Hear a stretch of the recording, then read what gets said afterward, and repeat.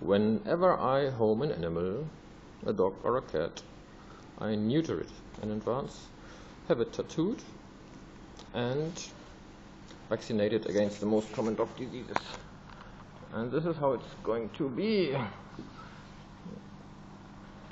This one is a six weeks old, seven weeks old puppy, and he's a boy.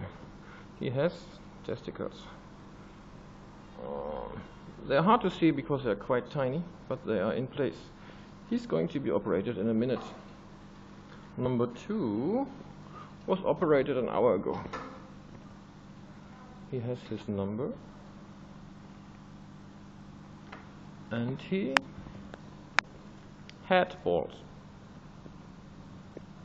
Two tiny incisions in the scrotum. And number three was operated yesterday. He has his number. And the interesting thing is, these tiny incisions are already healed. It takes 20 hours, 24 hours for the skin to fuse again. Of course, if you would apply some pressure, you couldn't open it, but it's it's already sealed, so no risk of infection. And then in a week's time, they're going to be vaccinated and hopefully find a new loving home.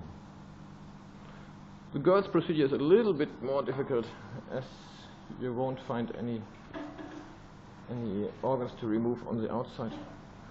But it works well too.